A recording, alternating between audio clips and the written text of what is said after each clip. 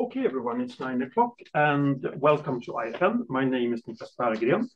Uh, I'm uh, the organizer, together with Christian Bjørnskov, of this policy seminar on the topic, Is the market economy culturally harmful?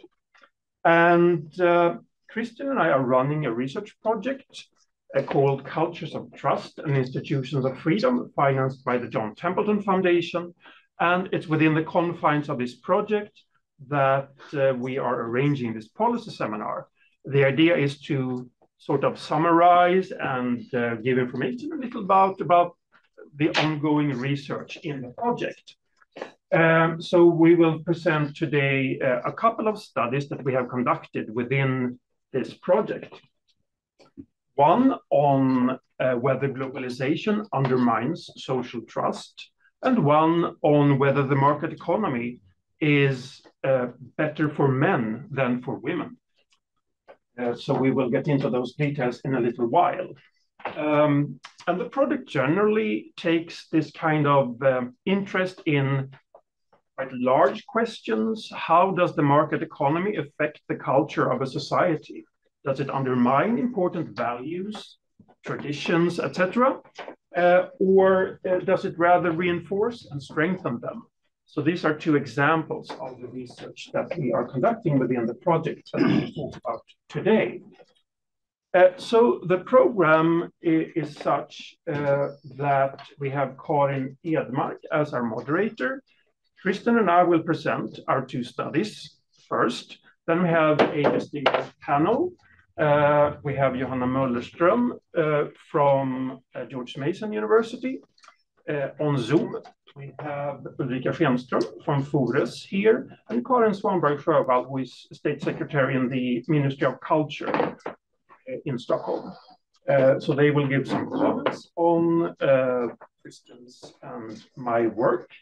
After they are done, we have sort of talked with them a little bit. Uh, the floor will be open for questions from the audience if you should have any remaining queries. Uh, and though the questions are only for the people here, not for the people on Zoom for practical reasons. I should also mention before I give the word to Karin that uh, we will film this seminar and put out the video on the IFN homepage afterwards for those of you who would like to see us again or maybe spread the word to your friends. Uh, and we will also take some photographs. So by being here, we interpret it such that you accept uh, that you may be part of some photo that we might put on our web page uh, or somewhere else, like reporting about this seminar. With those brief words of welcome, I give the word to our uh, moderator, Karin Edmark from Stockholm University. Okay, and I will be very brief because I think we all want to get started with the discussion of these big and technical issues that we are here to discuss. So I think oftentimes nowadays when you sit in a research seminar, you tend to discuss quite small and technical issues. And sometimes we are criticized for that, for not taking on the broad and big questions. But so this, uh, I think we should really take the opportunity here to discuss these big and really important uh, topics. Uh, so is the market economy culturally harmful? And we will have, uh, you will see, a focus on globalization, social trust, and also capitalism and the potential relation to gender inequality.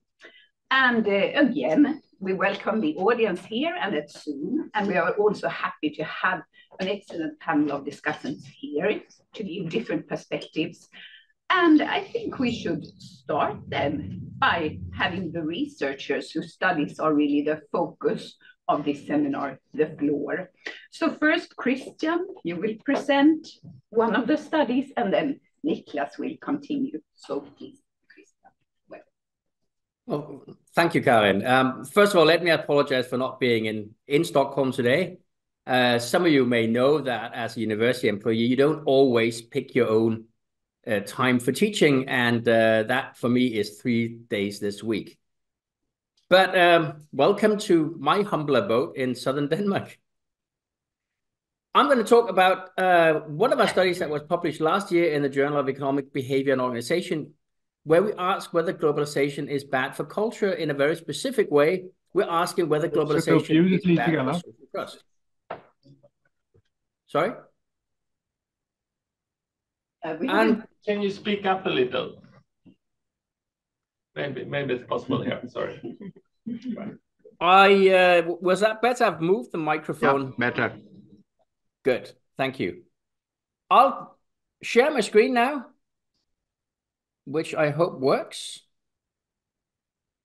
And then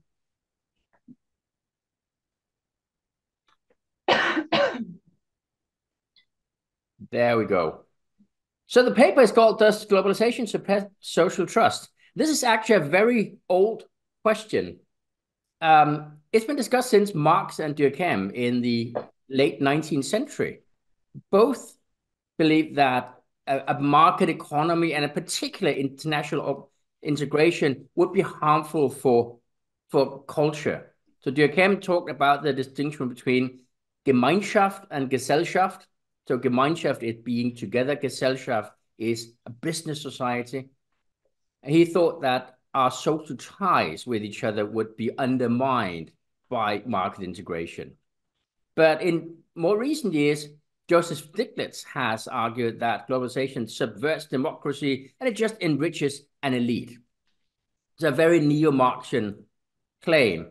Daniel Rodrik has claimed more specifically that cultural shocks occur that threaten traditional culture, and those cultural shocks occur because of globalization.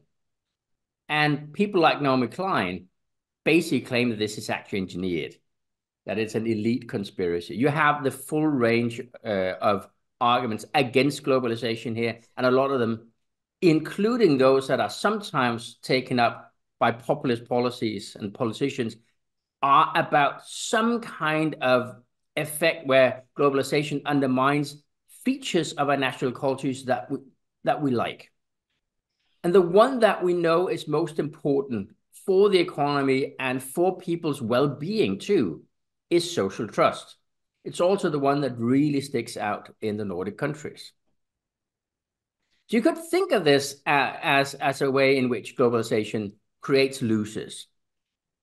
Globalization creates winners and losers in the short run. And if those losers somehow lose something or become detached from the rest of society, you might have a, a negative effect.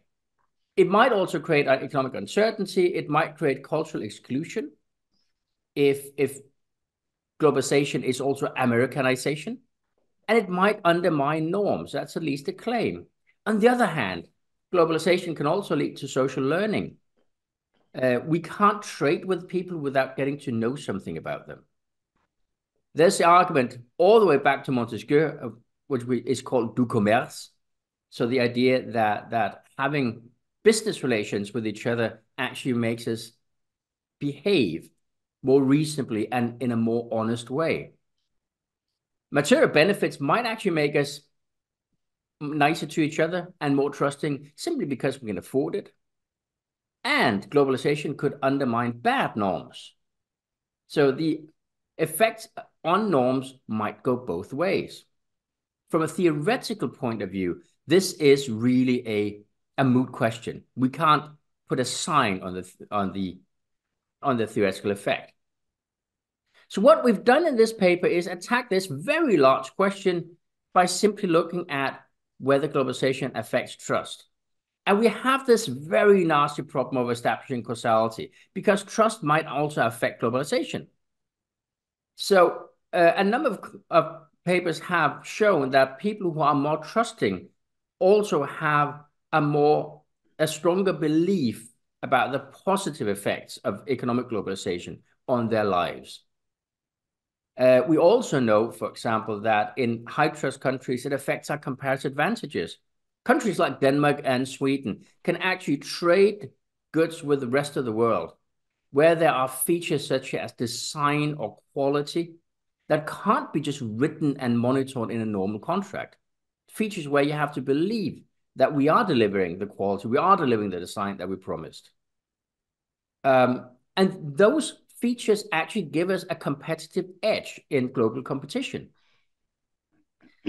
Um, so this is actually one of the ways where Niklas Potrafke, our great friend at CESifo in Munich, uh, some years ago emphasized that this is a problem in all studies of globalization. So how do we, solve that? Well, we use the epidemiological method where we look at migrants. So globalization may actually affect your culture and your trust mostly in what's called the formative years, the period between 15 and 25, where most of your political ideology and your norms and so on, they form. If you then migrate, that's the, I, the trust level you take to the new country. But the new country's level of globalization can't affect your the trust that you took with you from home. So that's the idea. We're looking at a very specific group, migrants, in order to solve a causality problem. And we are, with this method, getting very conservative estimates. So our estimates will be biased towards the negative. Our dependent variable is this generally speaking, would you say that most people can, be trusted or that you can you have to be careful? It's a very well-tested question. Uh, and it's a question where you get massive differences across the world, which is why I brought you the map here. Uh, you can see the differences here. Black areas are the least trusting in Europe, white areas the most trusting. And it's pretty easy to see that the most trusting areas are all in the Nordic countries. We are special. And the, the difference starts right on the Danish-German border. You also see that all of the very low trusting areas in Europe are in formerly communist countries. So we know that. This is just uh, to give you a sense of how large these differences are, even in Europe. And those are the differences that we're talking about. We're using the European Social Survey, which is a very large uh, survey. If we used all of the 10 waves that are available now, we would have access to about half a million responses. The good thing is that they oversample immigrants. So we have a lot of immigrants. Uh, I think it's about 36,000 in total in our sample that we can exploit. And they are from 200 different countries. Uh, we're using the KOF index of globalization, which is this big index that captures a number of different uh, aspects. So we usually think of globalization as an economic phenomenon, that we trade internationally and then we invest internationally. But part of it is also that we have contacts, interpersonal contacts internationally, that we share information. If you're using Wikipedia, you you are engaging in social globalization because very few people care about where an, a Wikipedia entry is written, as long as it's not written in Russia or China. So there's also a cultural aspect to this. We share culture. And there's, of course, a political aspect that we also share international law, for example. Uh, the KOF index is a great way, probably the best way we have, of aggregating all of these aspects of globalization as a whole. So what we find here when we look at globalization with this very particular method that solves our problems is a very small but positive effect. So we haven't in all of our work seen a negative effect. All effects here are small. When we find something, it indicates that elements of globalization actually make people a bit more trusting. So the learning aspects very clearly dominate the bad aspects that most of the critics actually emphasize. Uh, in particular, when you look at the first generation, a lot of this is actually driven by informational and cultural globalization. The fact that we share information It's not driven by trade flows. It's driven by information flows of different kinds. And even with the second generation, so migrants' children, we actually see effects of informational globalization. So what we conclude here, what we conclude that all of these uh, arguments that are common uh, among populists around the world, and this, unfortunately also among social democrats sometimes, uh, we find no evidence of them. We simply find that if there is anything, it's a positive. But we tend to conclude that, well, we we just find zeros because the, the small positives here are small. They're probably not really that important. So this is one uh, of what I thought was one of the most interesting parts of our project here, where we can both look at something that's very important to our country's social trust, but also speak to a, a very topical uh, political discussion now, right now, and actually one that is coming up again in the US presidential elections. So we kind of hope that there are at least some Americans who read this study or watch our policy seminar and learn a bit. Thank you.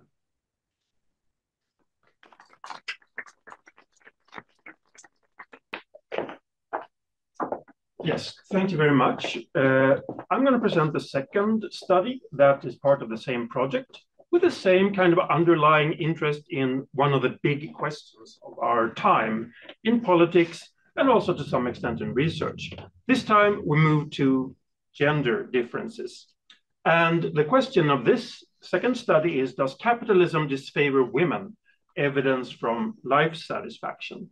Also, joint work with uh, Christian here. So the background to this study is that some feminists are very, very critical of capitalism. This is one example, a distinguished uh, feminist uh, theorist, Nancy Fraser at the New School in New York, and she writes the following. Any feminism aimed at liberating all women must itself be anti-capitalist. Liberal pro-capitalist feminisms can at best empower small privileged stratum of professional managerial women while leaving the vast majority vulnerable to abuses of every stripe.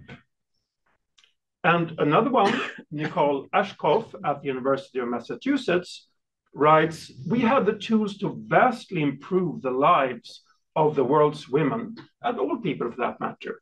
Yet we haven't directed our resources, knowledge, and energy toward achieving this goal. Why? Because the goal of capitalism is not to better the world, it is to make a profit. So here there is this sort of opposition in their way of thinking between capitalism or the market economy on the one hand and the well-being of women. You have to reject capitalism if you want to favor women's life situation. Do they have a point? To some extent, of course. Uh, there are several studies showing that women are treated worse in many of our societies with market economies than men. We're not denying that in any way. Um, also, it may be that women have a different attitude towards certain aspects of the market economy compared to men. There are some studies indicating that. They may, compared to men, value these things a little less, perhaps freedom of choice, material benefits, competition, free trade, and the small welfare states. Men tend to like those things a little more, according to quite a few studies. But there are also arguments for why capitalism can perhaps benefit women. And one of those who claim that to be the case is the philosopher Ann Cudd at Portland State University. So she thinks there are two arguments for that. She writes like this First, capitalism promotes innovation. It improves technical, it promotes technical innovation that tends to improve quality and length of life for everyone, but particularly for women. But more importantly, for the feminist defense of capitalism, it promotes social innovation, in particular the destruction of harmful patriarchal traditions. Thus, the second defense I will make of capitalism is that it opposes tradition fetishism and reduces the oppression of traditional societies that impose hierarchies of gender and caste. So this ties in a little bit with Christian's way of describing the debate about uh, social trust and globalization. So here as well, the idea is that market economies can undermine some harmful norms or traditions by creating new opportunities also for women. So how do our how do we come into this debate? Well, we think that previous debates, and also to some extent connecting to what Karin said, some research has uh, been uh, have certain shortcomings. We think, especially in the humanities, like the philosophers that were quoted before, their arguments are often quite ideological, theoretical, and abstract.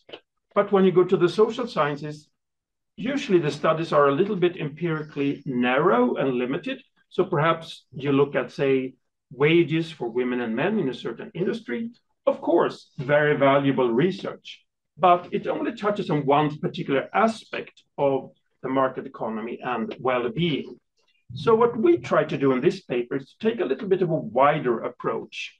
We ask, how is economic freedom, which is a measure that we use for capitalism, related to the life satisfaction of women and men? And we use economic freedom thereby covering broad basic features of the market economy. I will present this measure in more detail in a little while. And by measuring life satisfaction as the outcome, we capture, we think, all or the net effects of the market economy on, uh, on people's lives. Uh, because yes, if there is gender discrimination, this will have a negative effect. But if you have social innovation of the kind that Ann Cudd talks about, you have a positive effect. And the idea of using life satisfaction is to sort of we ask people how they themselves experience their lives, including women, and then all of those factors sort of come into play in their answers. That's the idea. And what we really do in the end in this paper is to compare how economic freedom affects women's life satisfaction relative to men, uh, and to examine whether there is a gender gap disfavoring women in market economies. So how do we measure life satisfaction? Well, just as in the study Christian presented, we use data from the European Social Survey, which is a great European survey. Uh, and as in the previous study, we use immigrants uh, as our sample to avoid the problem of reverse causality. And we use the replies to this question. All things considered, how satisfied satisfied are you with life as a whole these nowadays? Please answer using this card, where zero means extremely dissatisfied and 10 means extremely satisfied. How do we measure capitalism? Again, as I mentioned, we use an index called the Economic Freedom of the World Index. It consists of five areas capturing aspects of capitalism in a society on a scale from zero to 10. And those five areas are limited size of government, how much taxation and so on is there, legal quality, sound money, which is low and stable inflation, basically, freedom to trade internationally, which is similar to economic globalization, and then limited regulation, how much intervention in the economy that governments engage in. So as I mentioned, this is on a scale from zero to 10, this index is the average of the five areas, and they in turn are based on 42 different variables. So uh, a lot of different aspects of the economy go into these measures. And the values are from the countries of origin for um, immigrant samples for the same reasons Christian talked about. Uh, because if you were to measure this in the same country where people live, it could be that if you get a positive effect, actually more satisfied people may create more market-oriented institutions. But by using the immigrant sample, we try to avoid this methodological problem to make sure the effect that we estimate are in fact uh, going from globalization to life, uh, sorry, market economy to life satisfaction. So here are our results. Uh, the exact figures are not so important, but what we do is in a number of um, exercises relate economic freedom overall, and then the five different areas to the life satisfaction of both women and men, and women and men separately. As with our globalization study, the effects are very small, but always positive. That means the more capitalism you have in a society, the more satisfied people are with their lives. And is it the case that men benefit more than women? That is a little bit what we're looking at. Here we see the positive effects for economic freedom overall. So capitalism overall is positively related to people's life satisfaction. Uh, interestingly, we only get a statistically significant effect for women, not for men. Size of government doesn't seem to matter at all for how satisfied people are, which is a little interesting because a lot of the political debates are about taxes. Uh, but the tax level doesn't really seem to matter very much for life satisfaction. Uh, what does matter the most actually is legal quality. So having an honest, effective legal system, that is the most important for being satisfied with your life according to our results. And this holds both for women and men. But not even here, the point estimates are slightly larger all the time for women than for men. Um, also, having low and stable inflation is good for women's uh, life satisfaction and also economic globalization, freedom to trade. Regulation is, again, not related to life satisfaction, according to our study. Here's a way of showing this. So these point estimates are mapped here. So basically, the dots show how much life satisfaction changes when the six different indicators of capitalism change by one unit. So the effects are very small. But here, what's interesting is when we compare the estimates for women and men, the men are the black dots and the women are the white dots. So we see here the women are above the men in all cases. However, this is called a confidence interval. It's always the case that the women's estimates are within the range of these confidence intervals of the male estimates. It's a little bit technical, but what it means is basically that we cannot say that women actually do better than men because there is insecurity in the data. What we can say is that there is no indication that women fare worse than men. They seem to fare around the same way in market economies in terms of their own life satisfaction. That's the main point of this graph here. And we see again that the most important area uh, is uh, legal quality, that aspect of uh, a market economy. However, looking at immigrants, maybe people say maybe they're a little bit special. How about uh, Europeans who are natives in their various countries? So we also, keeping in mind that this may reveal reverse causality, we think that chances are a little smaller because we showed that for the other sample, that is not the problem. So probably perhaps not here either. But to illustrate also for the non-immigrant Europeans, we do the same study again. And basically the results are very similar. Uh, you see here women and men almost identical effects of economic freedom and the various areas of capitalism on life satisfaction, and certainly within these insecurity intervals. So we cannot say that men or women do better or worse. They seem to do uh, equally well or be equally satisfied by the market economy, you could say. The effects are a little larger here, like almost twice as large here uh, than for the immigrant sample. And I think it's for the same reason that Christian touched upon. He said we have conservative estimates. Uh, and that's because in that sample, we locate the market economy when people were quite young, their formative years before they migrated to the new countries in Europe. Here we look sort of this at the same time, so the effect should be a little stronger. And this is indeed what we find as well. Uh, so to conclude this study as well, we began by noting the hostility of some feminist uh, scholars towards capitalism uh, we think our findings indicate that capitalism, especially legal quality, is beneficial for both women and men, uh, and as, at least as beneficial for women as it is for men. However, uh, we cannot say that it's more beneficial to women uh, than to men, but basically no differences in this regard. Uh, but we do recognize that, of course, th with these big questions, in market economies, there are, of course, things that could be improved. This doesn't mean that everything is fine and dandy. Quite the opposite. We know that there are specific problems in many areas. Uh, we're just saying, even with those things taken into account, there are also benefits, seemingly such that both women and men, on net, derive life satisfaction from more economic freedom, from more capitalism. Uh, if one were to rectify the problems of gender discrimination and so on that we do know exists, probably the effects would become stronger.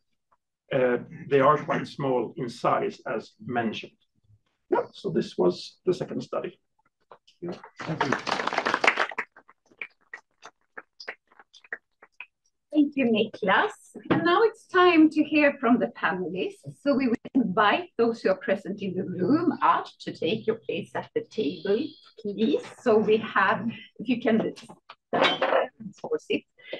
Uh, there we will hear from Johanna Möllerström, Professor of Economics at George Mason University. And Johanna is with us here over Zoom. And then we will also hear from Ulrica Schenström again, CEO of Fores, and from Karin Svanborg Sjövall, State Secretary to the Minister for Culture. And you will get approximately seven minutes each to speak, and you, we will let you present your views in turn. We'll start with Johanna, then move on to Ulrica and to Karin. And then after that, we will let Christian and then Niclas respond to the comments. And after that, we invite the audience present in the room um, to the discussion. So please, Johanna, the floor is yours. Thank you. Let's double check volume and all of that first before I even get started. So, so oh. all of that okay? Yes, we can hear you well. Wonderful. Um, good morning, everyone. I am also sad not to be with you in Stockholm, and uh, not only, but partly because it would then have been uh, 9.30 uh, a.m. instead of 3.30 a.m., which I think is a much more suitable time for this kind of activity. Um, but I'm super happy to be with you. This project is obviously extremely interesting and, and important in lots of ways. And Christian, uh, I promise you that when I go and vote, on Tuesday, November the 5th, uh, in the presidential election. I will definitely keep this uh, seminar in mind, as you suggested, and I will make sure to spread the word. Um, okay, so in my seven minutes, I would love to make um, at least three points. So let's see if I can get to all of all of those. Um, one thing that I think would be interesting to think about is in relation to the study on globalization and social trust uh, is the the uh, the question of the size of the groups that people are interacting with.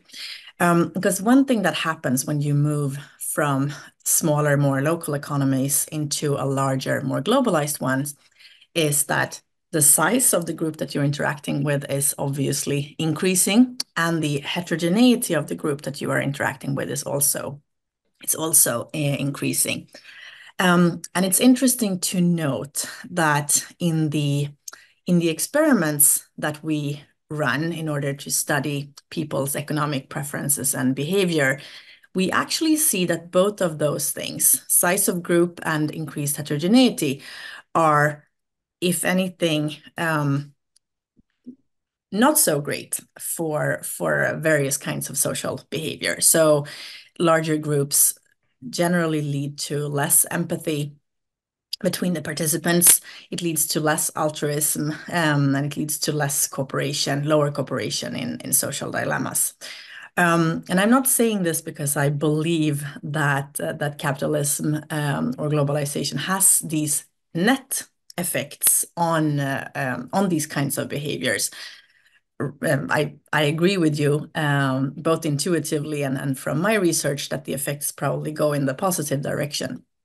It is, however, interesting to note that if one would look just at the group size uh, and on the heterogeneity that comes from um, from globalization, one would probably expect a negative effect. So the positive effects that we that we are seeing uh, on on social trusts and and obviously on on so many other uh, important variables of capitalism and globalization, they come about not thanks to, but despite the fact that globalization also comes with, again, increased group size and increased heterogeneity.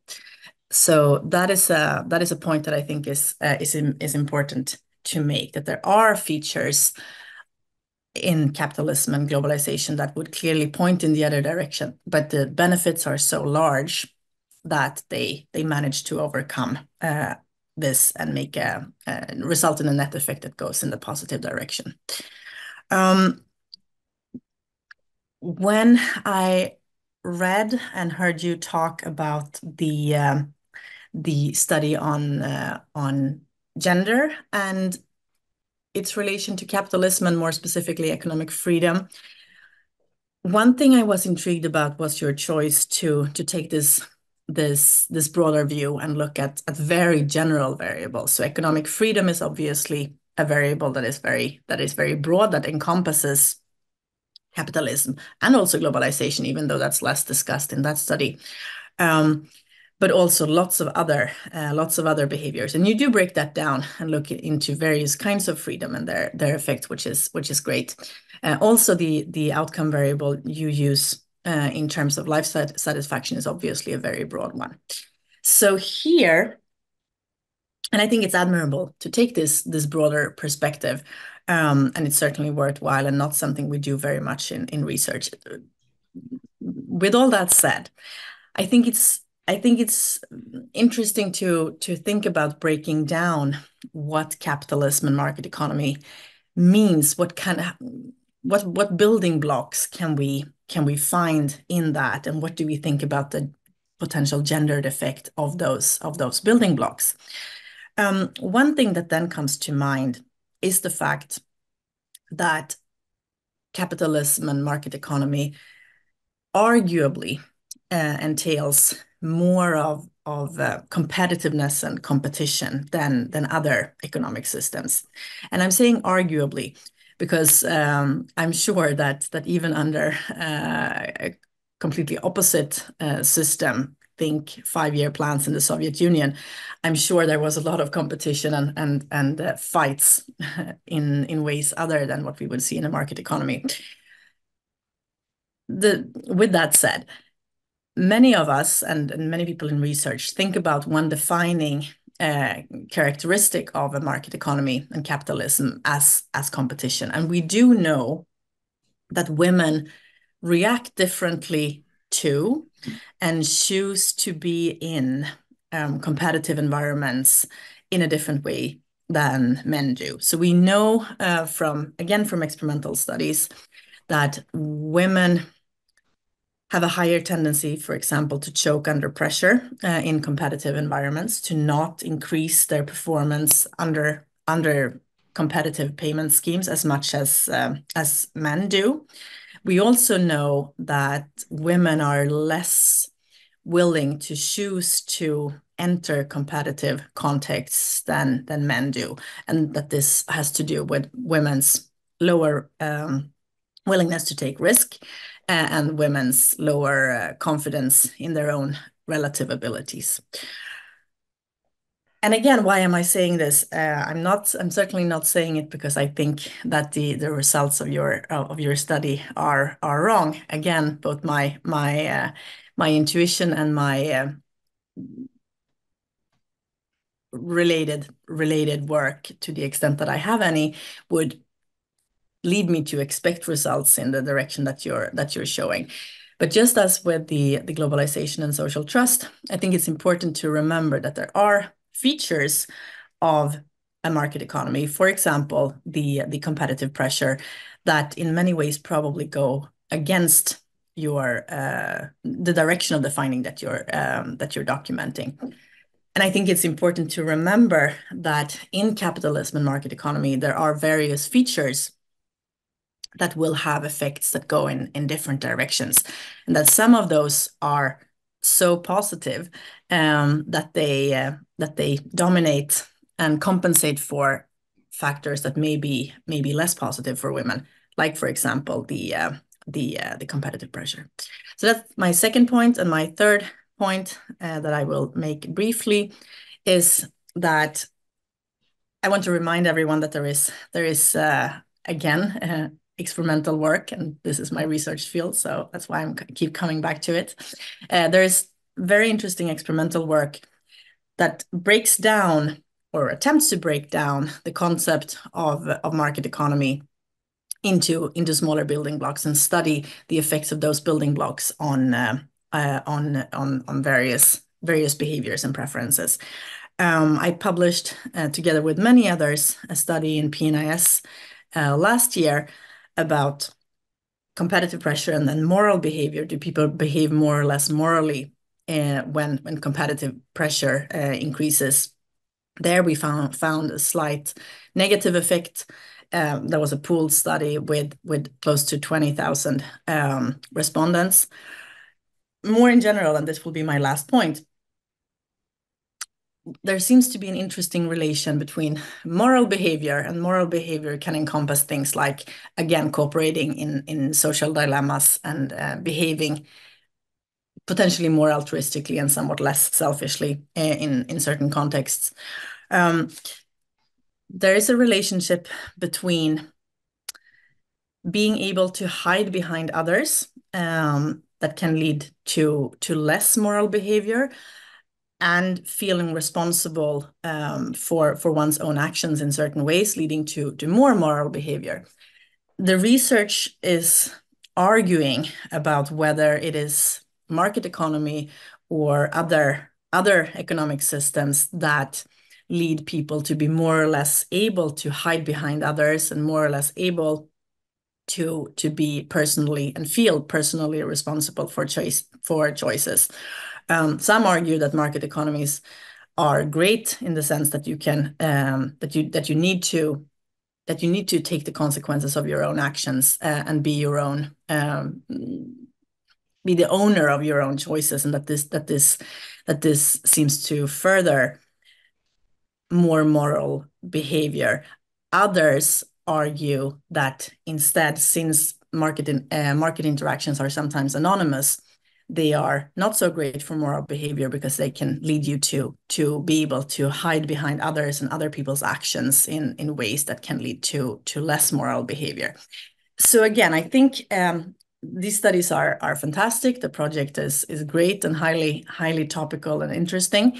Um, I think the broader view that the project takes is is extremely interesting and worthwhile, um, but it also inspires me and hopefully others to start thinking about the building blocks that that um, are part of of market economy, capitalism, and globalization, and think about the effects of those various building blocks on various behaviors and preferences that we that we would like to see more of, uh, and to think about what building blocks are the most necessary and the most crucial to see the positive effects that we would like.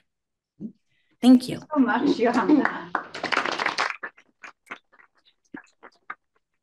During the rest of the seminar so that you're present for the discussion. And we will now give the floor to Ulrica Kihlström.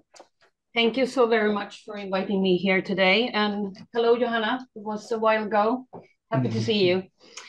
Um, I'm so happy that you invited me here. I'm actually uh, Ulrica Schenström, as you know. Uh, I'm the CEO of Fores. Uh, and uh, at Fores, we appreciate that IFN, uh, IFN, as I say in Swedish, has conducted these studies. Globalization, social trust, and gender equality are very important issues in today's political environment. Um, defending these values is crucial if we want to maintain an inclusive and democracy society.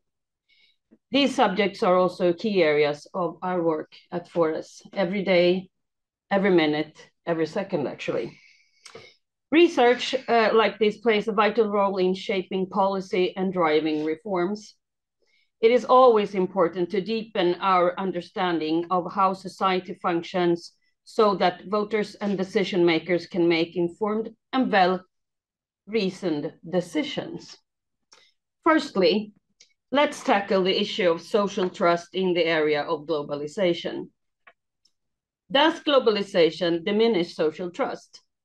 There has clearly been a counter reaction against globalization over the last couple of years, and it is important to acknowledge this fact.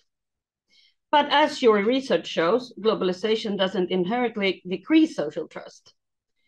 In fact, it is often enhanced trust through economic and cultural exchanges. What worries me, as you probably most of in this room know, is that the economy, it's not that the economy is too free or that we are too open towards the world, but rather the current backlashes against these values. The backlash to globalization we are currently seeing in Europe and in the US comes from populist national movements. These groups often act as a catalyst for erosion of social trust by spreading disinformation and encouraging political polarization. And you, most of you know that I'm working with this every day. It is also crucial to recognize the real threats to our global society that come from authoritarian states like Russia and China.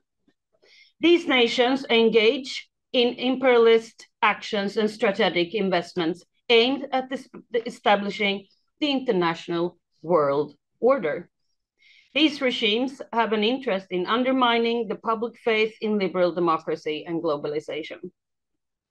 Their tactics include spreading disinformation and sowing seeds of distrust towards globalization.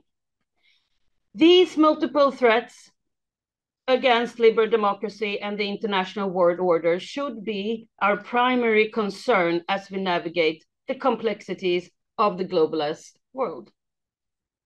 Next, let's address the question of whether capitalism dis uh, disadvantages women. As your research shows, capitalism does not disadvantage women, but can rather be a force for women's empowerment. Market economies provide opportunities for women to participate in the workforce, start businesses, and achieve economic independence. However, this doesn't discount the exist existing challenges and, and inequalities that women face within capitalist systems. This issue of gender equality has always been close to my heart. Most of you here know that I'm talking about this. There was an OECD outlook for uh, from uh, 2017. We um, that I'm always talking about maternal leave. Uh, since I took office as the CEO of Fores, we have released several reports on this subject. And one significant factor contributing to the gender gap in income and wages in the disproportionate uptake of parental leave by women. So to address the inequality income between men and women and to reduce the pension gap, we must get to the core of this issue. The introduction of parental benefit in Sweden in 1974 marked a watershed moment for gender equality. The transition from maternity insurance and parental insurance represented a paradigm shift. Sweden then became the first country in the world to offer paid parental leave to fathers, which then allowed both parents to actually stay home with their children. This represented the first step in Sweden's journey towards gender equality. However, it will take time before we achieve equal uptake. In 74, we took out merely 0.5% of uh, parental benefits. In 2021, men took out 30%. Half a century after the introduction of the gender equality reform, we still haven't achieved an equal distribution. Our report underscore that the um, unequal distribution of parental benefits correlates with the continuing inequality in unpaid domestic work, part-time uh, employment, and sick childcare. Therefore, the uh, equality, uh, equitable allocation of parental leave is paramount.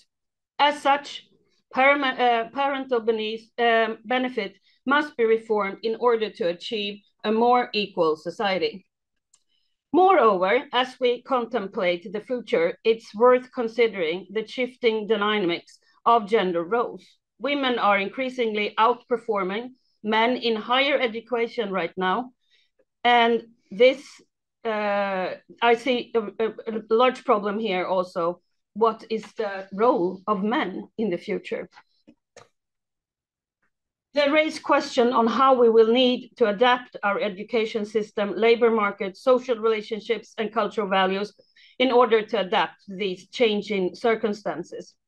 Instead of viewing this as a zero-sum game, we should strive for a more inclusive society that both men and women can thrive.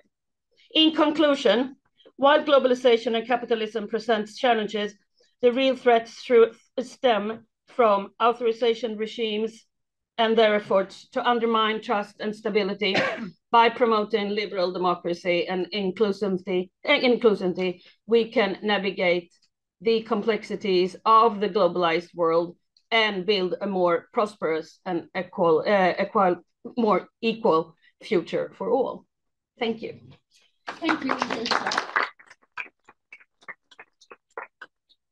Fine. Svanborg Sjövall. Thank you very much. And also thank you so much for inviting me to be here today.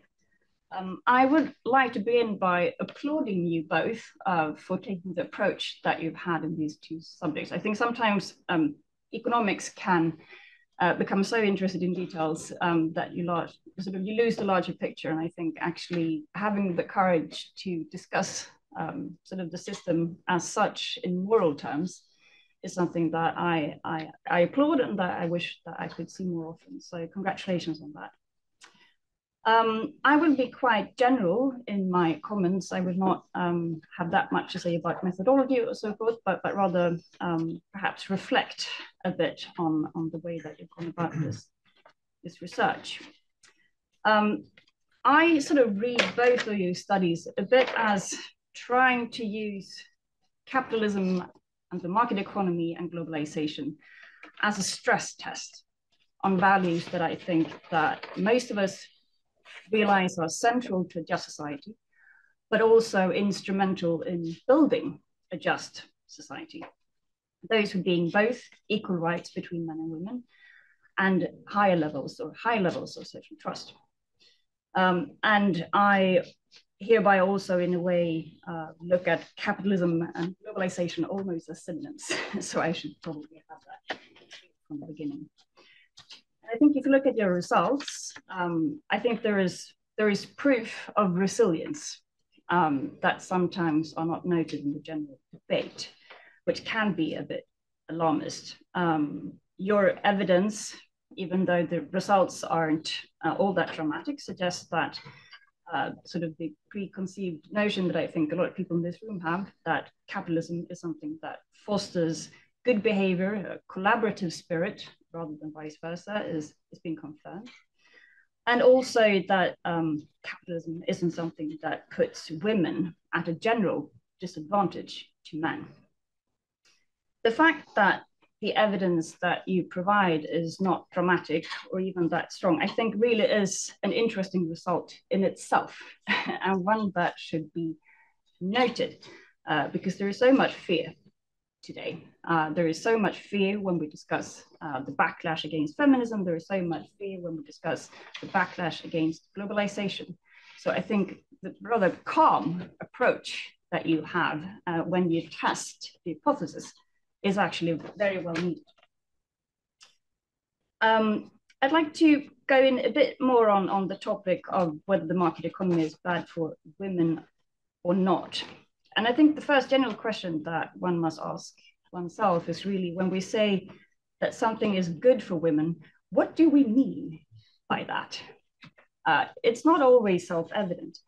Uh, I think in the again in the general debate when we discuss general equality, uh, gender equality, we discuss this in terms of two things: either in terms of empowerment, sort of compensating uh, for for weaker rights historically and sometimes present, and of course also the legal the legal system, whether we are legally equal or whether the legal and the, whether the state is actually discriminating in its institutional framework. Um, my sort of starting point in that debate on whether uh, something is good or bad for women in a societal sense is whether women have agency. Do they have the same kind of agency that men do? I think that's the most important factor. Um, and then the question, of course, be what kind of economic system provides the most agency to women um, vis-a-vis men? And I think the, the quote that you showed from Ann Cudd, where you said that capitalism is, uh, in, a, in a way, progressive, inherently progressive, that it's something that will counteract uh, patriarchal uh, and um, misogynic norms and tradition in itself inherently. And i think that's that's important to note here. Um, because then if you have a study that asks how is economic freedom related to the life satisfaction of women and men um, then the question of course will be uh, is the market economy providing women with agency or not? I would argue yes. Um, but there is of course the sort of the issue of whether you have the material prospects uh, that are necessary for you to, to exercise your and then there are the norms, um, two different things. And we know for a fact that capitalism creates wealth. And I think you need to start from the sort of materialistic uh, base here. Uh, if you have wealth, wealth will produce choices. Nothing will deprive someone of choices and agencies to the same extent as poverty does. So it has to, it needs to start there. Um, and if you have rising wealth, which capitalism obviously produce, um, women will inherently also get more choices of different kinds. And you can see that now in a lot of the debate that I think is also uh, making a lot of people very afraid, which has to do with the demography, mm. is that when uh, the world becomes more affluent, and especially poorer uh, parts of the world, women take control of the fertility because they want to have more choice. Um, they want to enter the labor market uh, they begin to claim equal legal rights. Um, so in, in that sense, I think it's, it's self-evident that the market economy will be better for women um, than vice versa. But then as Johanna points out, there are of course differences also to how uh, men and women uh, behave in competitive environments of the kind that you will see being more um, prominent in, in the market economy. Um, and uh, I think it's true, even if some people find this very provocative, uh, that, that there are a gender difference here um, that will come into play. But then I think the boon again with the market economy is that it will also provide women with alternative not to enter those competitive advantages. And that takes me to the last point, uh, which is I know also very provocative to some, um, but I think there's there's been a debate now well, whether there's a huge backlash uh, to feminism in the sense that there are now young women in Sweden saying that they you know would rather like to be housewives or they would rather like to step out of the professional sphere that has been sort of the main argument for female empowerment. And you can see that as a huge backlash, or you can see that as proof of the fact that we have now reached a level of affluence uh, where this can also be uh, one way of measuring agency that women can both choose to have more options, but they can also willingly choose not to have them. Um, and the sort of the very basic for that is that you have enough material wealth, which is what our economic system will provide us with. Uh, so again, uh, lots of cause for concerns all over the world, no cause for panics, and thank you for sharing that. Thank you so much, Karin. Time to let Christian and Niclas respond, and I will ask you to be relatively brief in your responses so that we also have plenty of time for discussion. And please, we, we let you start, Christian. All right. Let, let me just start by, by thanking all of you for, for these very careful and, and very thoughtful comments. Um, well, just just make two observations. One on Johanna's uh, idea about uh, uh, about globalization and capitalism in general that that it creates more competition. I think that that that is something that we probably should study quite a bit more because my my take on that is that what happens when you move from a less to a more capitalist society is that you simply move the forum of competition. So in, in a in a very capitalist, very economically free society, competition is market competition. That doesn't mean that if, if you remove some of the market competition, you don't get competition. You just move it to politics, where, as I see it at least, competition is much less about merit and much less transparent. And the probably the, one of the problems in experiments is that in experiments you get more or less competition. Period. You don't move it to another forum. So I, I think it, it, it's a com comment that is really worth thinking about because I'm not sure that uh, uh, the experiments that you're some people are running are are likely to pick up real world effects in that sense. Um, the other one is is is uh, on on Karin's points. Um, Nicholas and I recently revised the paper on on gender differences. Uh, I would have loved to have your comments uh, before we had revised it because yeah, I think you're exactly right that this is about women's agency. It's a very good way of of, of putting it. Um, and let me just tell a, a family story before we move on to to Nicholas. So I grew up in southern Denmark, which was German until 1920, so between 1864 and 1920. Uh, 6,000 people down here died in World War One because they were pressed into German service, including parts of my family. So my two of my great grandmothers actually started businesses themselves. One started a hotel, one ran the family glacier business, which was a rather large business. And both of them could do that in the 1920s because the region had gone back to Denmark, which was much more economically free. They would have not been able to do that if it had remained German. So I think that's one of the nice stories and one of the stories that you could very easily tell from developing countries today about how economic freedom gives uh, women many more opportunities and more agency. And perhaps we're just too not good enough uh, in our research to tell those stories. Thanks. Thank you. So please, Niclas. I agree with Christian. Great points by everyone in the panel. Um, well, one could talk for hours about uh, about them, of course, but I have to limit myself to just a couple of brief points uh, so that we let you ask your questions as well in the audience. So um, I think Johanna's point about competition is very interesting, and I think there are certainly such elements uh, to the market economy uh, I believe that women do behave differently often uh, under competition than men and may like competition less than men in many cases.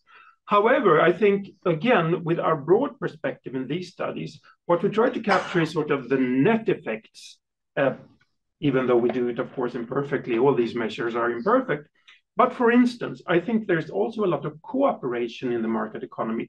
There is competitive pressure, sure, but there is also a lot of cooperation um, if you're an entrepreneur, you need to get a network together. You need a financer, you need perhaps a CEO in your company, uh, you need relations with banks, uh, you cooperate with uh, people who are integrated in a vertical chain, producing inputs to your products and so on. So when you face your competitors, before that, you cooperated a lot with people. You need the trust of others, and you need yourself to be trustworthy to, to sort of start a business, become successful. And I think there are both elements in the market economy. There is the sharp competition, but before that, and perhaps also during the competitive process, there's also a lot of cooperate, cooperation, which may foster this feeling and also build on this feeling of trust that we identify. So yeah, it's a, it's a complex issue, but uh, maybe these sort of play out in different directions in terms of women's life satisfaction, but both could very well be present. Um, on populism that Ulrica talked about, I think that's very interesting. And Christian and I have some uh, colleagues, uh, Andreas Bergh and Anders Kärnä, mm. who have studied the relation between both economic freedom and populism and globalization and populism, because that's another big debate. What they find is no relation between the degree of market economy or globalization and populism, uh, which is very interesting because many people, I think, suspect that globalization, with its effects on perhaps closing down old industries, people become unhappy and they start disliking globalization. uh, actually, that does not seem to be a very strong or dominant effect. Um, so, yeah, as an extra. And then lastly, I also like Karin's idea of agency a lot. And I came to think when you discussed this choice by women, perhaps in the market economy, to go back to an old style women's role, if you call it that, sort of, oh, I want to be a housewife now again. Um, I thought of the economics Nobel Prize winner James Buchanan, who has an argument about the market economy, which builds on private property rights. So if you own your sort of, you have perhaps a plot of land, you have your house, uh, some money, and so on. This actually allows you to avoid the market process. Uh, you can choose if you want to to not engage with other people in competition. You can be happy in, on your plot. Perhaps you become less rich uh, that way, possibly, but it's a choice you can actually make if you own things. So he calls that property as a guarantor of liberty. Um, property giving you actually the ability to choose even a non-market uh, lifestyle in a market economy in the wider sense. So I think that ties in a little bit to that idea. Anyway, that was my comments. Again, we could talk the whole day, I think, about all these points, but uh, now we also want to see what the audience has to say. So, Karin. Yes, we will talk about this for, for 20 minutes here, and then, well, we can continue all day in different ways. But uh, now we leave the uh, open up for questions from the audience here. And again, unfortunately, we cannot allow questions from participants over Zoom. So I will allow you, uh, I will encourage you to present yourself before you ask your question. Also state who the question is for, if it's for Niclas and Christian or for either of the panelists. And also speak up clearly so that it's possible for participants over Zoom to hear. So do we have any questions from the floor?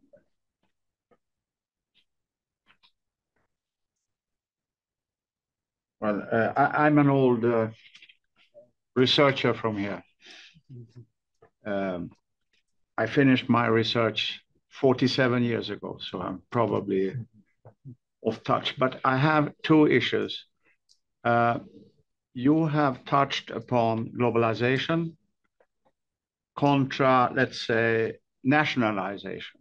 That is the national, the big political issue, as I have understood now, is um, uh, nationalistic or globalistic. That's the big issue. And I would like to see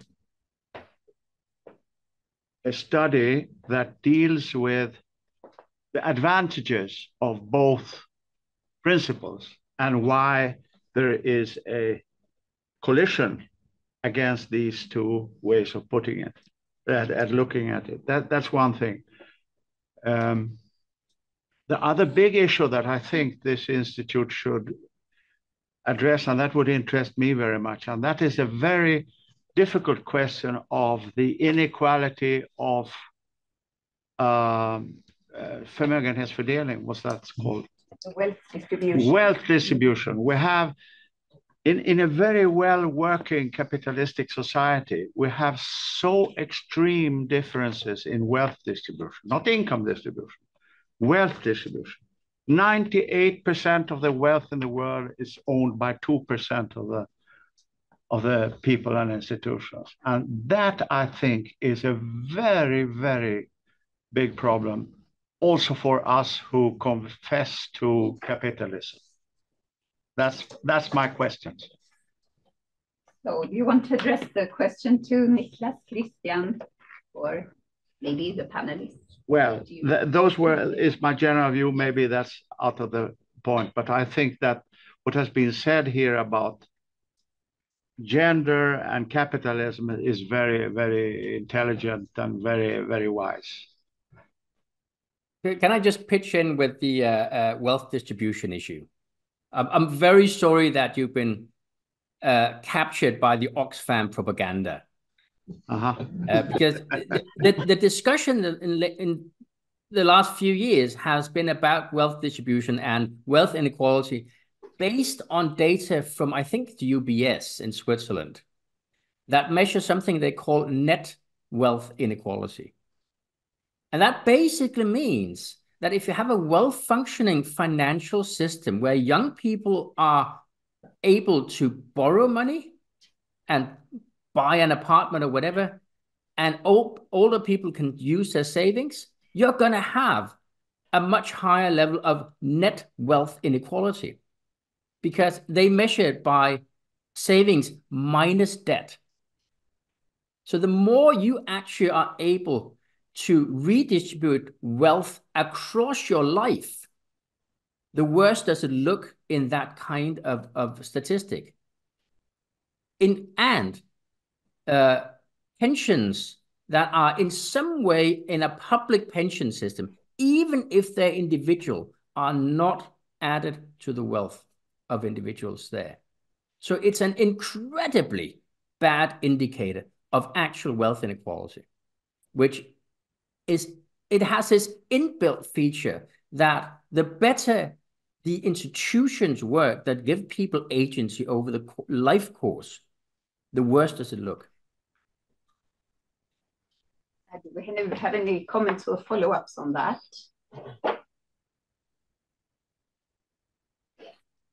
Uh, Fredrik Sjöholm. I, uh, no, I have another comment, if it's okay, and that relates to something I find really interesting, and that's the discussion on uh, on uh, globalization and uh, populism. I think maybe I said there's no evidence, but at least I think to be fair, there are a lot of studies showing that there are effects, political effects of globalization. Whether that is populist or not, one can debate. But for instance, my former colleague in Lund, Kaveh Majlesi, who's now in Monash, he has this very convincing study, I think, that shows that in the US, when there was an import shock from China, it really increased polarization, political polarization. Okay, so if you were Republican, you became a Tea Party Republican or, or Donald Trump supporter. If you were a Democrat, you became a Bernie Sanders type of uh, Democrat. So that's at least is this populist? I'm not sure, but it's at least large political effects. There's also a study on the UK showing the same thing, that the China effect, the globalization, uh, kind of led to the Brexit.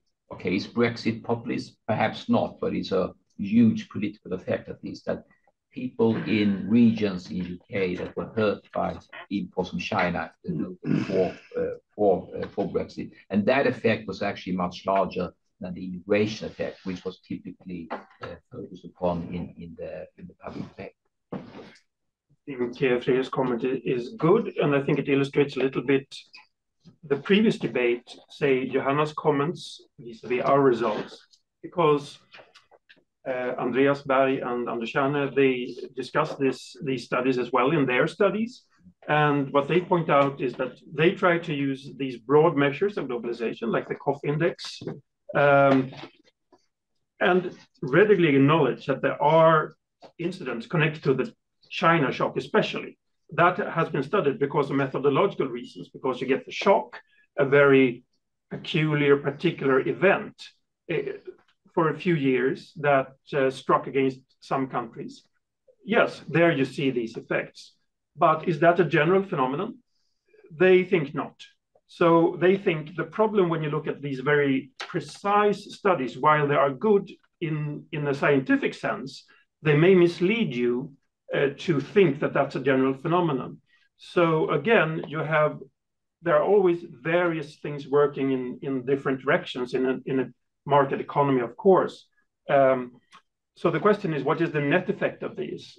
Things. And at least they conclude in their two studies on this that uh, the general pattern seems not, uh, they do measure it a little differently. Yes, polarization is slightly different. And so they look at uh, these populism indices produced by Anders Johansson Heinö in Stockholm, actually, one of them, and the other by The Guardian. So the measures are a little different.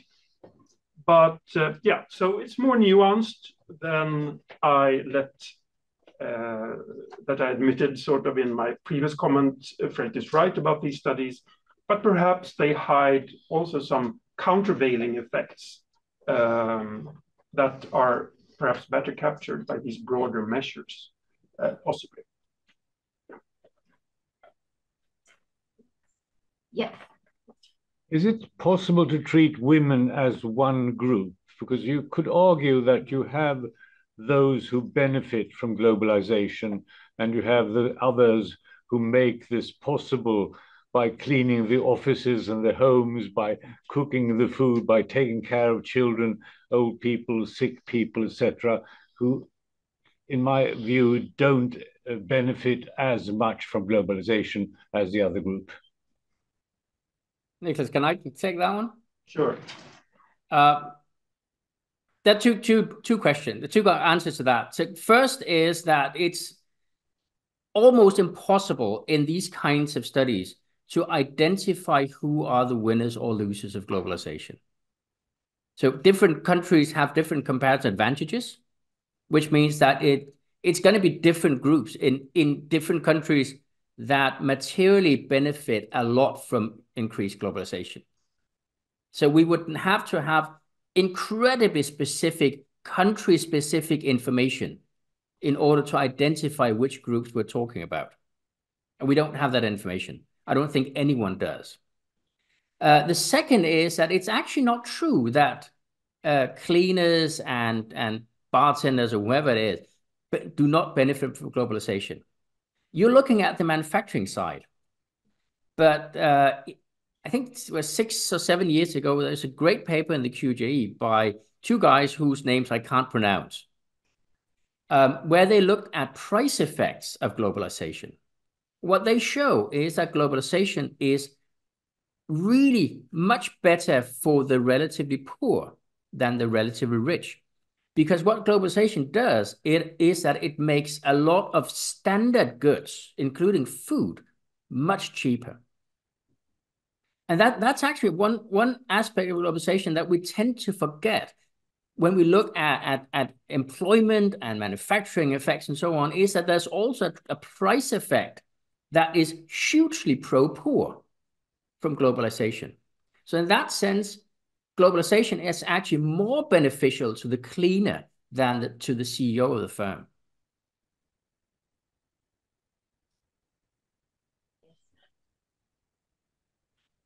Well, uh, I think one has to make a very big difference between the globalization in economic terms, and we call that division of labor, and that is that is good. I mean, we have proven that for for a long time now.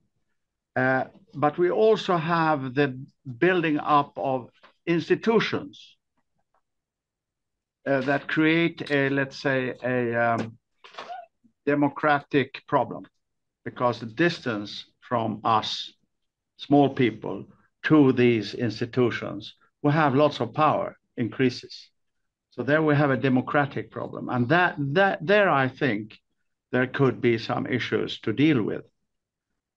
Uh, so I think one has to nuance this thing. Uh, globalization is, I would say, definitely good in the division of labor sense but not necessarily positive in the governance sense, that we create institutions that are very far away from the little man. That that I think you have to differ. And and why this issue is a bit acute is that we don't dif we don't differentiate between those two issues because everybody likes globalization in the economic sense but not everybody likes the globalization in the institutional sense, I think. I think I will take the opportunity to yes. pick up the question yes. so that we can also hear perhaps from the political representative and from the other panelists here. So, because I have, I was also interested, you, you talk about capitalism and the market economy. So, can we say that more of this is always better? Or is it the case that different combinations of the different building blocks is, you know, are there certain combinations of welfare state, market economy uh, with an open sector towards the, um, the, the outside world in competition uh, in the private sector that is better? And in, in that sense also, what is the role for politicians and for public policy? Um, so I will direct this question first to Karin, but of course we will also let the other people respond and also respond to your original comment. Yeah. Uh, that's a huge question, but I think uh, if we take up sort of the populist strand, uh, I think uh, there is reason to believe that capitalism can foster sort of counter reactions, populist counter reactions in the sense that capitalism is very messy. And people don't like messiness as a general rule, uh, especially uh, people on the left, I, I, find often have a very well developed sense of order, sometimes overdeveloped, in my um, opinion. Um, but, but in general, people don't like insecurity. They like to know what's happening. And, and capitalism is not very good at providing the answers of what will come. Some of us like that, but a lot of people don't. Uh, and there is um, there's very interesting research made by uh, a political psychologist uh, called Karen Stenner. I don't know if you've read her. She wrote a book called The Authoritarian Mind, where she plotted out sort of the different segments of the population are sort of are, are, more or less risk adverse and more or less prone to react negatively to, to messiness. But she also showed that the way that you phrase change actually has a big impact on how people react to it. So it's in a sense, it's, it's, it's a lot to do about wording, I think. So from the political perspective, I, I find that very interesting. That if you uh, if you discuss change as something that will is for everyone and that will bring everyone along. Uh, sort of the, the, the fear lessens, and you can actually avert some people that would revert towards more authoritarian stance as a reaction uh, to the fear of change. Whereas if you are uh, very much in favor of extremely populist us and them uh, sort of rhetorics, you can trigger um, that reaction. So I think that's that's one way of looking at it. And then of course, I mean, it's it's an eternal question of whether sort of there is a political task to um, provide, say, welfare systems or, or, such that makes people confident enough to accept change, uh, and to what extent that should be a big machine or a small machine.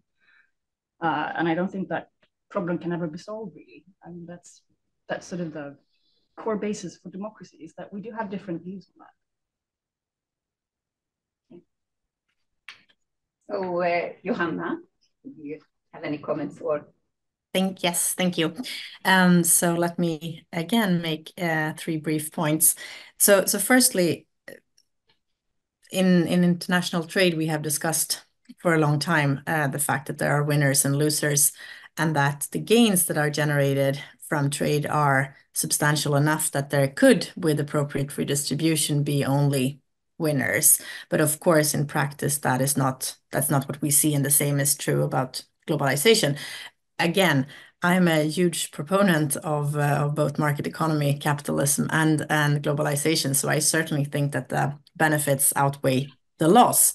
Um, but pretending that there are only winners is is definitely not the way forward. And there I would echo what Karin is saying, that it's also about how you how you describe things, um, but also how you how you do things uh, in practice and how you use various redistributive systems to actually get more people people on board. Um, brief comment to to uh, Christian's uh, remarks related to to um, competition and competitiveness. Um, I think the experimental literature is faring a little bit better uh, than uh, than what you are alluding to. Um, we do study various types of competition, certainly not only the market uh, market economy type. Um, we do see, however, that that women uh, are especially uh, averse to the the the market type competition, especially again when it's framed like that. Uh, and I'm not saying that because I think it's bad or I think we should have less of it. I think we should probably have have more of it, but it's something to be aware of, uh, and it's uh, something that we need to think about why we do have these gender gender differences in reactions to and propensity to choose into um, these types of competitions and how we can potentially potentially change that and make competition more um, equitable, if you will, not in terms of results, but in terms of uh, how you how you participate in it. Uh, my final point, again related to to framing and uh, and to how things are are described. I think the agency, the sense of agency is something that is demanded by by people in general. There is a big literature on the importance of of uh, of locus of control and how how you feel, um, whether you feel that you are in charge of your own life, and whether you feel in control uh, over over important aspects of of your your everyday um, experiences, and there we should be aware that many people and uh, new new um, surveys survey evidence from the US show for example that that the majority of uh, of US uh, citizens feel that the economic system is rigged against them that they don't have a chance that they that they that they are not in control of their own economic uh, outcomes we should be aware that this is a sense that many people have it's probably not true that they have less control than they would have in an alternative uh, economic system, rather the opposite. But again, if people are living with this perception uh, of what market economy and capitalism uh, and globalization means for, for them, and they perceive that they that they lack control and that they lack agency, that is in itself something that we should uh, we should try to address and see how can we how can we make sure that we are all aware of the fact that we do live in a system where you don't have perfect agency, but you most likely have much more agency than you would have in uh, in alternative systems. How can we how can we promote that sense, uh, both in terms of how we describe and, and frame things, but also in time in terms of of lived experiences message from the panelists, I take it, that the uh, task for the non-populist politicians is really to explain, make people feel safe in this globalized and competitive world, and also find a, an appropriate, what that is, level of equalization of the playing field and perhaps redistribution. And we are almost out of time, so I will give Christian and Niclas then a chance to, to finish very with a brief comments. Christian, perhaps. Well, let, let me just finish by, by thanking you all and reminding you of one thing. Don't make the nirvana fallacy. So we should always compare actual markets, actual capitalism, to the actual alternative. And the nirvana fallacy is one that people make all the time. They compare actual markets to their ideal version of politics instead of saying, well, we, we need politicians to do this, to regulate this, then ask yourself, can you name one politician in real life that you would want that to do that? Very often, my students can never name a single politician when I ask them. Because that when they are forced to do that, they realize that they've made the nirvana fallacy maybe Karin knows at least one politician yes. that she trusts. Um, yeah, I also just want to thank you all, the panel, uh, people here, and uh, people at Zoom who followed us, and Karin also for for helping us along. Uh, as Christian said, in a way, uh, I think this is really enriching for a researcher to sort of present your work a little bit in um, in accessible fashion. Sometimes you get really good feedback, and actually it's almost that you regret that you didn't present it earlier uh, because there are actually things that you could incorporate in your way of arguing and thinking about the issues. And I think you have provided examples of that today. So thank you all. Thank you very much.